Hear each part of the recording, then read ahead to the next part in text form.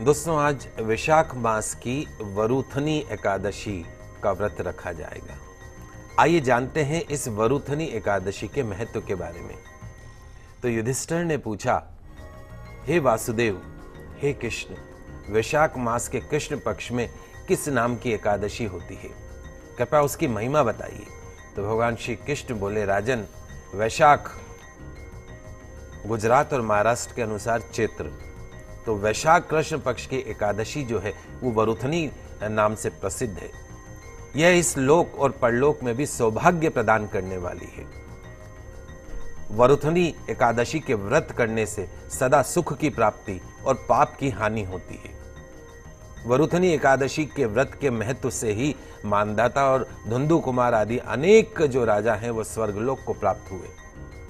जो फल दस हज़ार वर्षों तक तपस्या करने के बाद मनुष्य को प्राप्त होता है। वही फल आज वरुथनी एकादशी का यदि कोई व्रत रख ले, उस मात्र से उसको वो फल प्राप्त हो जाता है। तो हे नपश्रेष्ठ घोड़ों के दान से, हाथी का दान श्रेष्ठ है और भूमि का दान उससे भी बड़ा दान है। और भूमि दान से भी अधिक महत्व जो है वो तिलों का दान है।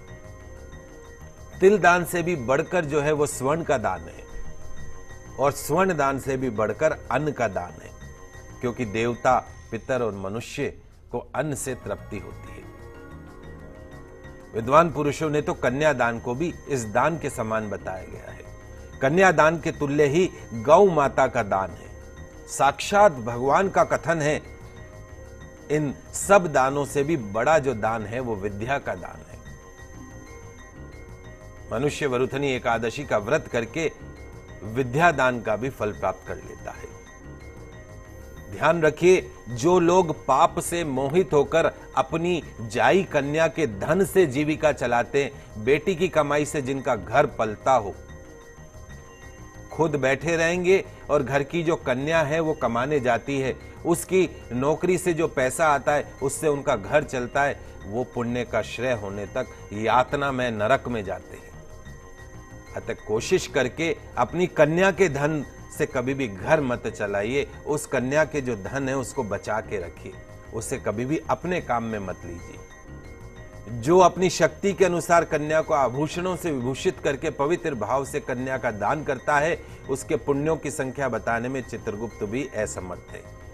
तो वरुथनी एकादशी का व्रत करके भी मनुष्य उसी के समान फल को प्राप्त कर सकता है। तो राजन रात को जागरण करके जो भगवान मधुसूदन का पूजन करते हैं, वे सब पापों से मुक्त होकर परम गति को प्राप्त करते हैं।